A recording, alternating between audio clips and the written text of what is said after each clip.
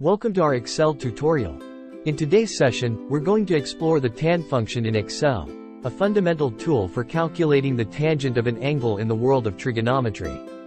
The tan function is a built-in mathematical function in Excel that's been a part of the software since Excel 2000, and it's found under the Math and Trigonometry category. It's utilized to find the ratio of the sine to cosine of an angle in a right-angled triangle, which is the tangent of that angle. To use the tan function, you simply type equals tan, number, into an Excel cell, where number represents the angle in radians you want to evaluate. Remember, radians are a measure of angle that's used in calculus and various scientific fields. Let's look at our first example. Suppose you want to find the tangent of 0.55 radians. You would enter the formula equals tan 0.55 into an Excel cell. After pressing enter, Excel will calculate and display the tangent of 0.55 radians. For our second example, imagine you want to calculate the tangent of a 39 degree angle.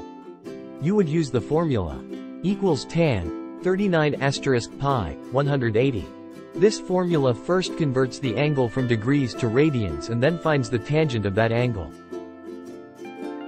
There's another way to achieve the same result using the radians function.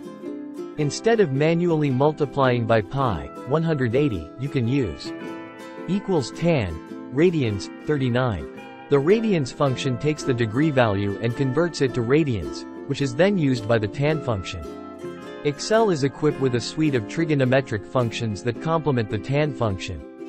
These include sin, cos, and their inverses, such as ASIN, ACOS, and ATAN. Additionally, for more advanced mathematical work, Excel offers hyperbolic functions like tanh, sinh, and cosh. That concludes our tutorial on the Excel tan function. Understanding and applying the tan function can be incredibly useful for students, engineers, architects, and anyone else who needs to perform trigonometric calculations. Thank you for watching. Be sure to practice using the tan function along with other related functions to enhance your Excel capabilities and solve a variety of mathematical problems. For more Excel tips and tricks, be sure to subscribe to our channel.